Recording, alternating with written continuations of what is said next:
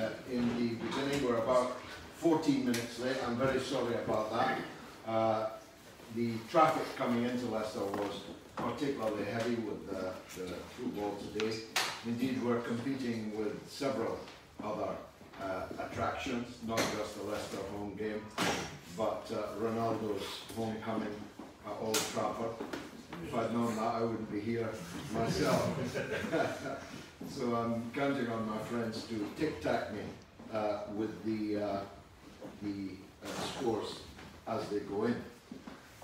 It's also, of course, more importantly, uh, the 20th anniversary of the terrorist attack on the United States on 9-11 2001. A premeditated, deliberate attempt to uh, massacre thousands of civilian people, uh, almost certainly inspired by, maybe organized by, uh, the Al-Qaeda network uh, led by Osama bin Laden.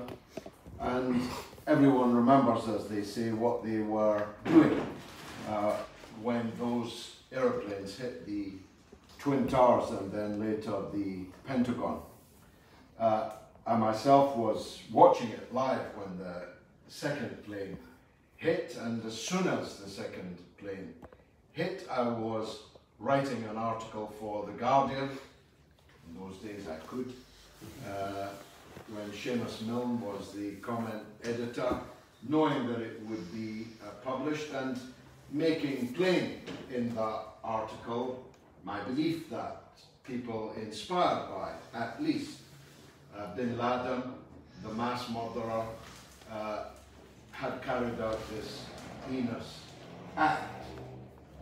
And as soon as I finished the article, I phoned my friends in Iraq and warned them, though they needed, I'm sure, no warning, that this would undoubtedly be embraced as a casus belli for a war on Iraq, an invasion and occupation of Iraq. And in that too, though no particular genius was required, uh, I was proven right.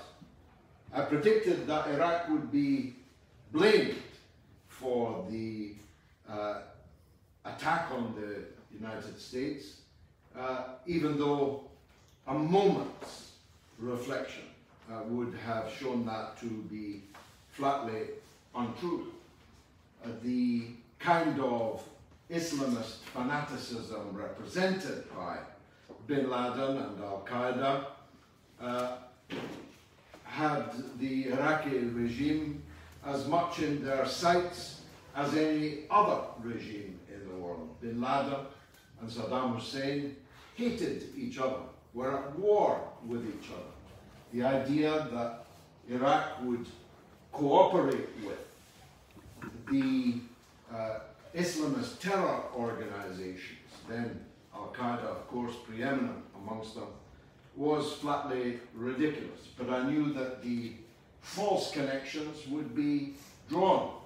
And indeed they were. Some of you are too young to remember, but the days following 9 11, all kinds of horrific lies were plastered across the front pages of Western newspapers, including the lie that uh, Iraq had a terror school at which these hijackers had been trained. The trained to cut people's throats with box cutters, how to seize airplanes and so on. All of it lies. The lie in the Sunday Times still never retracted that the leading hijacker, uh, Mohammed Atta, had met with in Prague, in the airport, very detailed, the head of Iraqi intelligence at that time. A complete lie. But of course, part of a carpet of lies that had paved the way up until this point in history.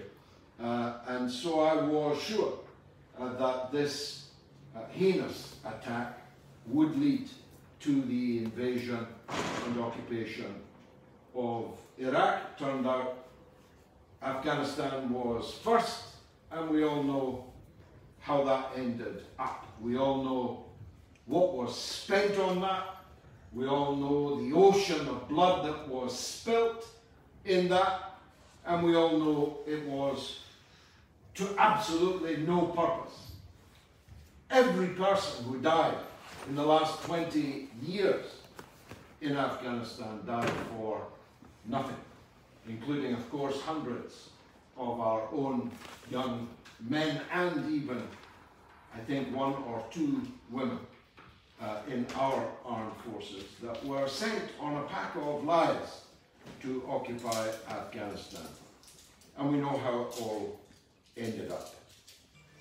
The one thing that most people don't know, and I and my comrade Dr. Ranjit Brar are uh, going to uh, try to set out just before we show the film, is where all of this lies in the big picture. Everybody knows what happened in Afghanistan. Everybody says you were right. Everybody knows what happened in Iraq. Everybody says you were right. But not everybody is yet persuaded that these wars, these crimes, lie seamlessly in one garment. And that garment is called imperialism. What is imperialism? asks a young woman of Jim Flory uh, in George Orwell's first novel, Burmese Days. What is this imperialism you keep talking about? And Flory, who's really Orwell, his first job was as a colonial official in Burma, answers it's going to other people's countries and stealing their things. I've read big books on imperialism, but that's as good a definition in one sentence as you're ever going to find. This crime in Iraq, crime in Afghanistan, is a part of a greater body of crime which flow ineluctably from the notion that some countries, some heavily quotes, civilizations. You may recall George W. Bush, knuckles trailing the ground, daring to use that word civilizations. Some civilizations have a right given by someone, God perhaps, to go around the world invading other people's countries and stealing their things. Best summed up by Donald Rumsfeld, now deceased, when he literally asked, on TV. What can we do, he said, if God put America's oil under other people's countries? it was a moment of rare honesty from the American administration. They did regard it as America's oil. And the fact that it was under other people's countries was only tolerable if those countries were puppets of the United States and its empire. Iraq, whatever else it was, was no longer, at least, a puppet of the American empire and therefore intolerable uh, to the United States. The film you're about to see is an important chapter in the story of Iraq for lots of reasons. The most of which is the most uncomfortable. And it is this that the British state will stop at nothing, nothing, to repel all boarders. Any one of us could have ended up on Harrowdown Hill. Especially me, if you think about it. Luckily, I never go into woods. and I would never, under any circumstances, commit suicide. Write that down. the truth is that David Kelly, as you'll see in this film, certainly didn't commit suicide. Whatever else happened, and there are other alternatives, whatever else happened, he certainly didn't commit suicide. After the film, uh, we'll have time for Q&A and Dr. Ranjit will address the audience also. But before we go to it, I said that the Kelly story was important for many reasons. And I gave you the first one. But here are some of the others. The British media can be absolutely relied upon to lie and cheat and deceive to do their master's bidding, and their master is the state.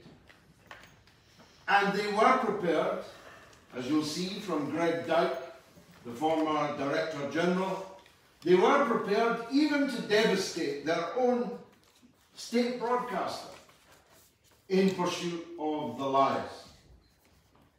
Number three is that the British Parliament is completely toothless in the face of state crimes. Usually it's quite happy about that.